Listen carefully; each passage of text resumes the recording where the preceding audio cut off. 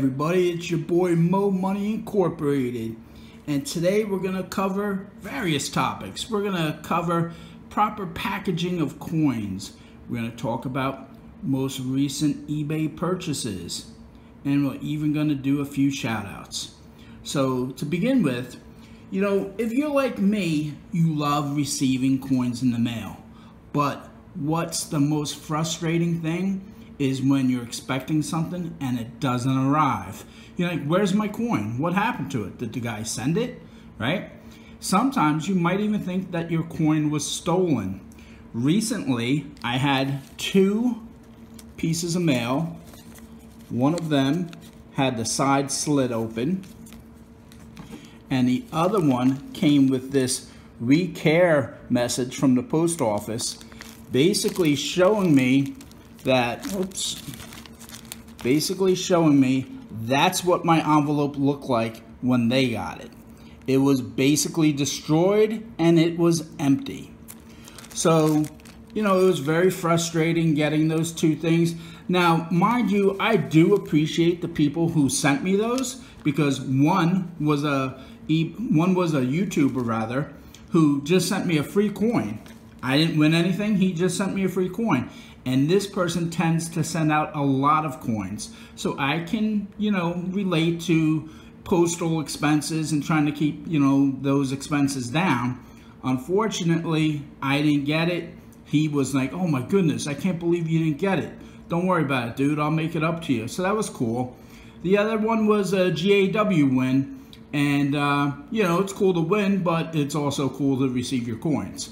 So, let's look at a couple other packages that might have been packaged a little bit differently and perhaps even a little better. Uh, this package was in one of my recent mail calls, well, my only mail call for that matter. And I don't know if you can tell, but the person used tape to reinforce their padded envelope. So whenever you're sending coins in the mail, it's probably a pretty good idea to reinforce your envelope or your padded envelope even with some tape.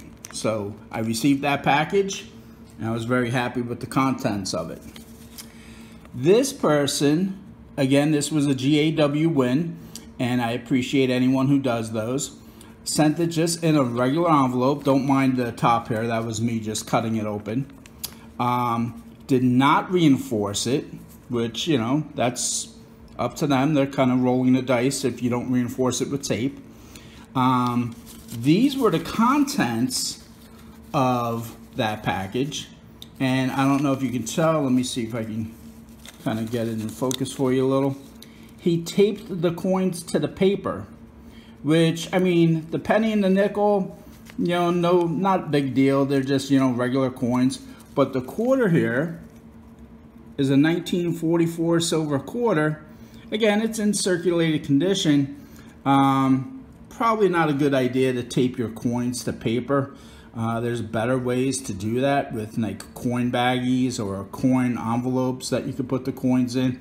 Also, if you're sending multiple coins, probably not a good idea to let them bang next to each other if they're in you know better condition. These are in circulated condition, so it wouldn't have mattered. But if you had like BU or AU coins, you definitely don't want them clanging against each other. Okay, next was, um, I don't really remember what this was, to be honest with you. I think it was an eBay purchase. Just a regular envelope. You can see he used, you know, an extra stamp here. Um, he did reinforce it with the tape, which is always a good idea, and I received it. So thank you for that. Next, I want to talk about I want to talk about an eBay seller. As you see, I have you know, blacked out everyone's address just to keep their address private. I didn't get permission to use anybody, so I'm going to respect that. And I also blacked out mine. Um, this was a padded envelope. It was reinforced with tape. Very happy with the contents of that. And check this out. The same seller on eBay. Okay, and I will tell you who it is. It was uh, 93 Redhead sent me this coin. Now, this person, okay, is an ex-Marine, which is pretty cool to begin with, so thank you for your service. Um, he has told me so much about errors and varieties. Unfortunately, my eyes just are not good anymore. And to help me, he's actually sent me pictures on my computer to see if I can, you know, find the errors, which I thought was pretty cool. Unfortunately, I haven't been too successful, so he took it one step further. He sent me this envelope with a coin inside it saying that, hey, if you can't see it in the picture, maybe you can see it in real life. I'll send you the coin for free and you check it out and see if you can find the error. Again, a nice envelope. I'm going to open it up in a minute, but I can already feel that there's cardboard in here. So he reinforced the coin with cardboard backing, which is always a great idea. He has it taped along the side here. And I'm going to go off camera and open this because I don't feel like slicing my finger. I'll be right back. And we're back, YouTubers. And as you can see, I've cut open the envelope. Nothing inside. And look what he does. This is genius. We all get junk mail. So he takes his junk mail, puts it together, okay, and he uses it to put, like create a little pouch. And then inside he has his little business card, okay. Thank you. You received your coin and have examined it. Please remember to leave feedback. It is very important. Gave me two of those just in case I want to, you know, hand it out to somebody else.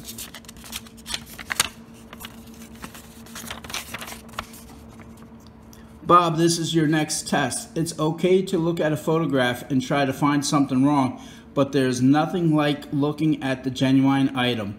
Your clue is on the reverse within the design. So who does this? I'll tell you who does this. 93 Redhead does this on eBay. So if you're into checking out errors and varieties, this is the way to go. Okay, that's the backside of his cardboard that he did. And then look at this. Look at this. The protection. The protection layer for this coin. And note the coin baggie. You can buy these coin baggies on eBay. I'm just going to leave it on the cardboard for now. You can buy these baggies on eBay for like a couple pennies a bag. So a great way to send your coins and make sure that your customers are going to get them no need to do delivery confirmation when you package things like this. You are going to get your coins. Okay? So thank you, 93 Redhead. I will be contacting you later to see if I can find that error. All right, next on the list. You can use envelopes or you can use big envelopes, right? So that's cool. Padded envelope from Amazon Prime. That's pretty cool. I received this package. Obviously, I received this package. What did I receive though? Well, I received this cool nickel laminate. Now, I want to tell you something about this purchase, okay? I saw coin mats advertised on eBay for $25. And I saw this one advertised for like $16 and change. And I wasn't trying to be cheap. What I was trying to do was save money so that I could use that money to invest into some more silver. Right? That makes sense. We all want to get as much silver as we can. Pretty nice, pretty nice, right? Tells you all the, you know, key dates and everything, the repunched mint marks. Not bad, not bad. However, it is a laminate. And if you can see right here, let's see, right here, you will see that it's already like wrinkling up.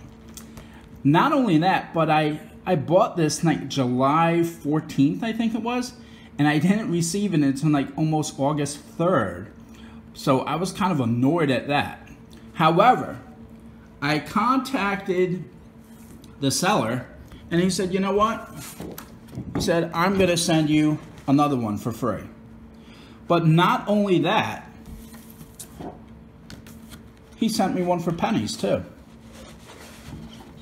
So I thought that was extremely cool. Sorry about the shaky tripod there. But, um, you know, absolutely free, no charge. So that was really cool. Okay. But obviously I wasn't too happy with the laminate, the way it wrinkled, the fact that it was a laminate and not a true like uh, mouse pad type material. So you can't go wrong with Rob Finds Treasure. So I invested in one of his coin mats. Couldn't be happier. It's exactly what I wanted. And the way Rob packages his coin mats is in these tubes here. And let me just show you what that side looked like. And then obviously I slid it out of that side. Okay. I was a little nervous when I saw it like this because I thought maybe moisture might be able to get in there. But, you know, Rob knows what he's doing because if you look at his eBay sold items, he sells like, you know, 20 of these a month at least. So I thank you, Rob, for making a quality product. Next, I will be showing you some of my recent finds. Next, I want to talk about something that I received from Treasure Hunting with the Godfather. It was a GAW win, and uh, let me just uh, go off camera a minute and I'll open this and I'll show you what's inside. Okay, YouTubers, we're back, and inside the envelope was Treasure Hunting with the Godfather's magnet, so that's pretty cool. I can add that to my refrigerator and take care of important papers. So I thank him for that. And check out this blue pouch. This blue pouch is pretty cool. What's inside? What's inside? Oh, here we go. Oh, check it out. The sticker. This is my first sticker. So I know everyone's into uh, trading stickers and collecting stickers. So that is treasure hunting with the Godfather sticker. So I thank him for that as well. And this was what was inside. Check her out. Yes, yes, yes, a sexy lady.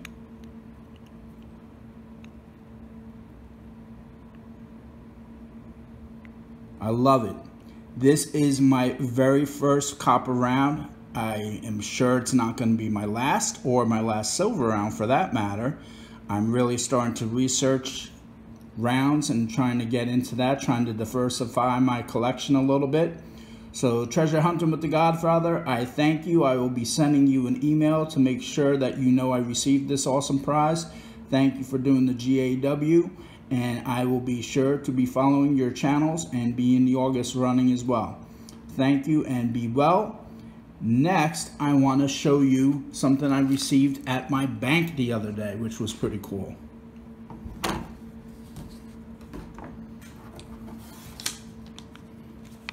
So, unfortunately, I am on unemployment due to COVID-19, which isn't too cool. But school will be starting up soon, so I'll be teaching again come September, whether it be from home or from school, yet to be determined. But I cashed out my debit card for unemployment and I received a few hundred dollar bills and I received this beauty. 08009068 star a star note on a $100 bill. Pretty sweet. Next, I want to share with you an idea that maybe will help you guys get more coins at the bank. As you know, uh, I've been telling some people that I, you know, correspond with that in New Jersey, the banks are really tight on giving coins. Forget about boxes. You're not getting any coin boxes. You may not even get coin rolls, not even from the bank that you do business with. So I've been going to banks, you know, all kinds of banks, TD Bank, Chase Bank, Provident Bank, all kinds of banks trying to get coins. And a lot of them have said no. So I came up with an idea. I came up with an idea. Some of the banks that have been nice enough to give me rolls of coins, I appreciate them very much. I started rolling up my coins that I weren't going to use, that I was going to just put through Coinstar or put through one of the, you know, coin sorting machines at the bank. I started rolling them up and giving them back to them. Not the same bank, mind you. I would never do that. The banks that you get your coins from, you never want to dump at. That would be a huge mistake. I went to some of the banks that said no to me. and I said, hey, I know there's a coin shortage and I have these rolled up coins. Are you interested in getting them? Of course, they said yes. And guess what? A week to two weeks later, I went back to some of those banks and I asked for rolled up coins and they said yes. They remembered who I was because I did them a favor. I don't know if you are aware, but bank tellers are required to roll up coins before their shift is over. So by doing something as easy as rolling up coins, you know, you're watching the ball game and it's a commercial, roll up, you know, 50 pennies, big deal. By doing something that simple, you increase your chance of getting customer rolled coins or bank rolled coins from the banks that you're trying to get coins from. So, you know, if they still say no, say, you know, okay, thanks, I understand, but keep going because sometimes you get a different teller and a different teller has a different attitude. I thank you for tuning in to today's video. Oh, wait, wait. There's important shout outs that I need to do. I want to do shout outs. Yes, I wrote it down on paper so I would not forget. Liberty Coins, that's the first person I want to talk about. Liberty Coins is a channel on YouTube who did a shout out for me. Now, I'm not doing a goal yet. I will be doing one soon. He just wanted to help out a small channel like me. What do I have, like 125 subscribers?